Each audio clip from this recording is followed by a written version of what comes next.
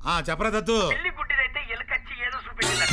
ఏంట్రా వాగుతున్నావు? ఆ అవినాష్ గాడు ఐశ్వర్యకు కాఫీ షాప్లో ఐ లవ్ యూ చెప్పిండట. ఇప్పుడు ఐశ్వర్యను వాడు పెళ్ళి చేసుకున్నాడు అనుకో ఐశ్వర్యతో పాటు మనకు మొగుడే కూర్చుంటాడు అప్పుడు ఐశ్వర్యను కాదు కదా ఈ ఇంట్లో పనిచేసే పెంటమ్మను కూడా నువ్వు కిడ్నాప్ చేయలేవు. చెప్తా. రాయ్ ఆ ఫోన్ తీరా బాబు? వినపట్లేదా? తీ, ఫోన్ తీ, ఫోన్ తీ. కాన్సన్ట్రేషన్.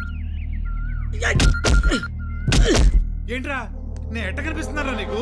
చూడు పిన్నమ్మ పాడు పిల్లాడు. మాడలా కనిపిస్తున్నానా? ఎక్కడ డైమండ్స్ ఎక్కడ డైమండ్స్ ఆ డైమండ్స్ నిజంగా మా దగ్గర లేవు. లేవ్వా? సరే నేను డైమండ్స్ వదిలేస్తాను. నువ్వు ఆ అమ్మాయిని వదిలే. ఆ అమ్మాయితో నీకేం పని? దాంతో తొక్కుడు పిల్ల ఆడుకుందామని?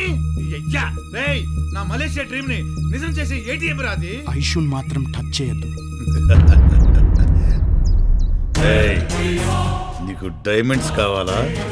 ఆ అమ్మాయి కావాలా. త్వరగా డిసైడ్ చేసుకో.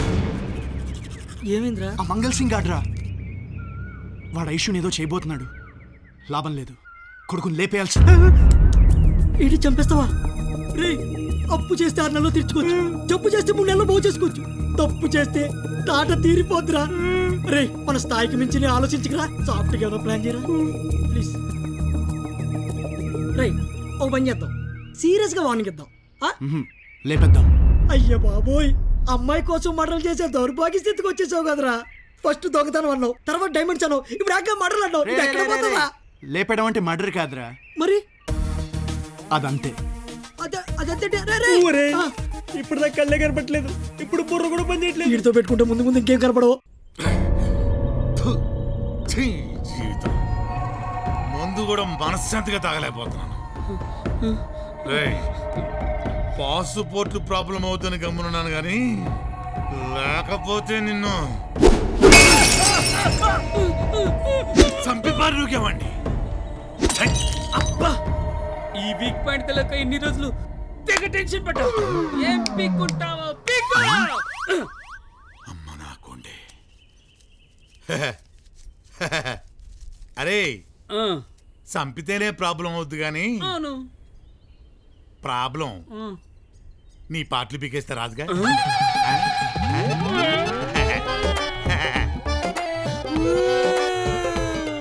చెప్తా.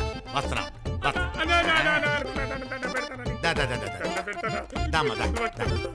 చెప్తా చెప్తా. అరే అడివి మొన్న యాక్సిడెంట్లో మీ తమ్ముడికి కళ్ళు పోయి అన్నావు కదా.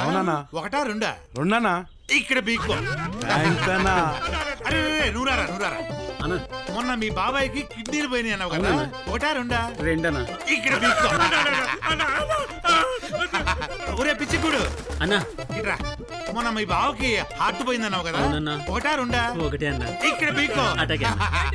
ఏంటి పిక్కున్నది? చెట్టుకున్న గుండెనా? పిక్కోడానికి. గుండె గుండెక అబ్బచ్చా. మరి నాకు నీకు ఏం కావాలో అది పీక్కో.